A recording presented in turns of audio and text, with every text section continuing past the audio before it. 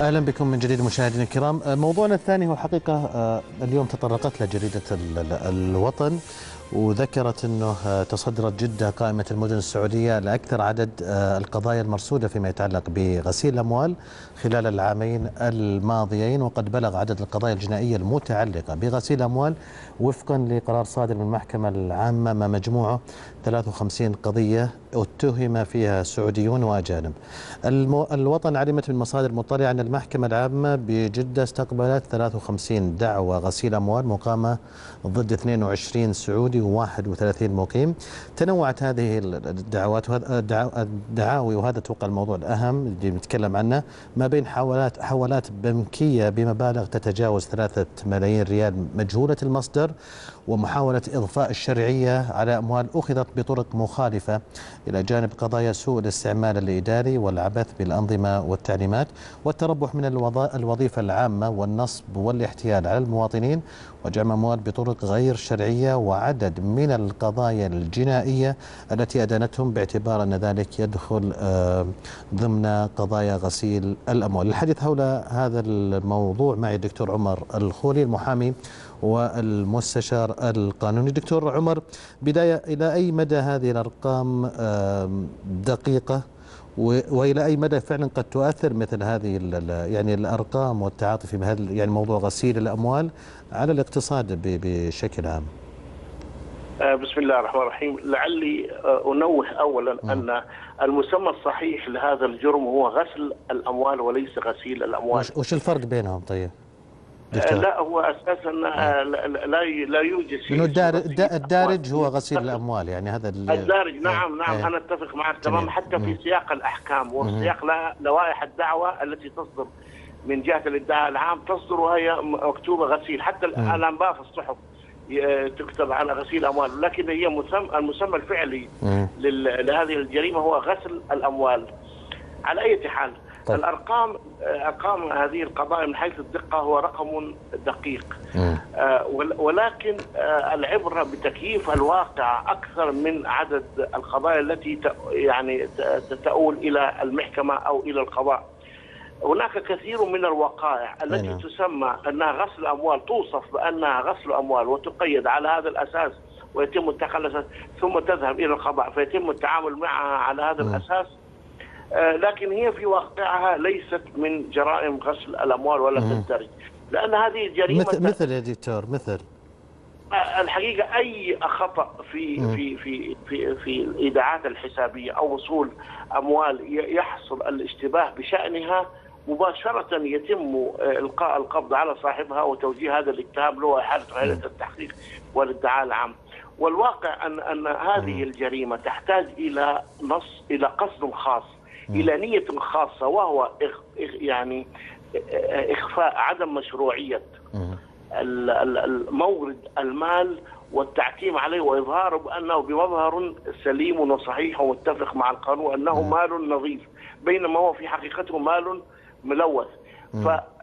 فاحيانا قد يلجأ الشخص يكون المال مصدره صحيح ولكن كثرة التعاملات البنكية أو الحوالات أو هذا يعني مخالفة أو أو ممارسة عمل من أعمال البنوك من قبل أحد الأفراد غير أو المؤسسات غير مرخص لها يصنف ويقيم بانه غسل اموال طيب طيب و... دكتور دكتور يعني على كذا بس آه كأنك تقول أنتم اطار غسل الأموال أو غسيل الأموال لا مشاحة في الاصطلاح لكن المقصود واضح إنه الأموال اللي جت بطريقة غير شرعية. آه نعم.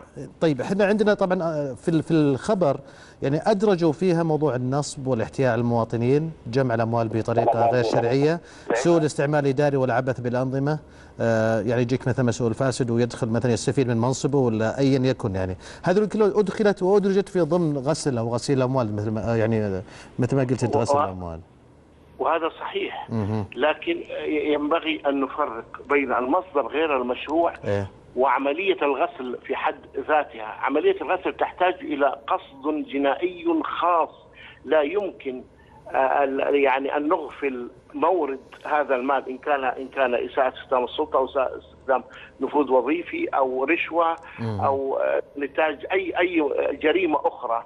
فيعاقب على الجريمة الأخرى وليس لكن إذا ما حاول اضفاء المشروعية على مصدر المال وإظهار المظهر الصحيح فهنا ارتكب جريمة أخرى وهي غسل الأموال. عادة للأسف في جهات الضبط وجهات التحقيق وجهات القضاء بكل أسف يحدث خلط. أنا بشرت عددا من قضايا غسل الأموال آه ثم انتهينا إلى نتائج أنها قد تمثل مخالفات أخرى لنظام ممارسة أعمال البنوك أو الصرافة أو شيء من هذا القبيل ولكن لا تمثل آه، آه، عملية غسل أو جريمة غسل الاموال طيب. لانعدام القصد الجنائي لدى الجاني. طيب دكتور دكتور أنا بسألك عن نقطتين أتوقع أنها جدا مهمة. آه، أحيانا البعض قد يغرر به في موضوع غسل الأموال. يغرر بمسألة الثروة السريعة إنه بإمكانك أنت يعني وهذه تصير تلقاها أحيانا موجودة. أتوقع كثير يعني منها. تجي إيميلات بطلب الحساب البنكي لأجل إجراء حوالة أو يجي أحد وسيط من وسيط من دولة خارجية ايا يكن. نبي نحول المبلغ الفلاني على حسابك البنكي مبلغ كبير ويوعد بنسبة من هذا المبلغ.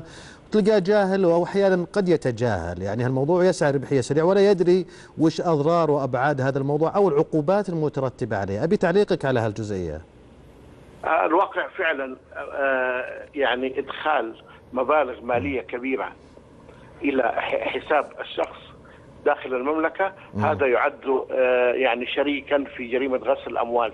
ولا يعفي يعني حسن النية هنا قد يلجأ القاضي إلى التخفيف الحكم عنه لأنه النظام وضع حد أقصى للعقوبة. يعني غرامة لا تزيد عن عشر سنوات إيه؟ آه، عفوا سجن لا يزيد عن عشر سنوات, وغرامة لا تزيد عن خمس ملايين.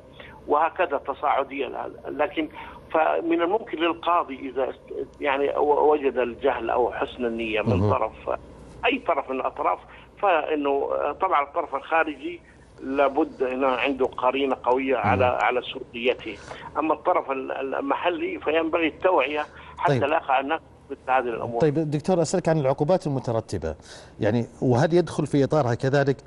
سوء الاستعمال الإداري أو سوء المنصب لما يكتشف أنه مسؤول رس مشروع فلاني على يعني أحد يعرفه وهو له فائدة أو نسبة منه أيا تكن مظاهر الفساد العامة هذه الماد يعني المالي اللي قد تكون موجودة يعني عند عند عند البعض وش الجرائم اللي هل يشملها فعلا في إطار عام لهذه الجرائم العقوبات على هذه الجرائم؟